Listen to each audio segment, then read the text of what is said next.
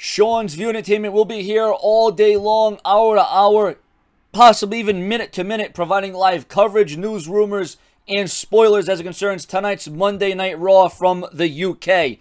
Ladies and gentlemen, as seen on Wrestling Inc., thanks to CM Stride, Jay Miles, and Root Patel for the following Raw spoilers. The WWE World Heavyweight title is in the ring as Triple H makes his way out alone. He talks about Seth Rollins' uh, injury and announces a new tournament to begin tonight to crown a new champion. A big thank you Rollins chant started. Roman Reigns came out and Triple H actually put the WWE World Heavyweight title on him, offering Roman Reigns the chance to be in the authority.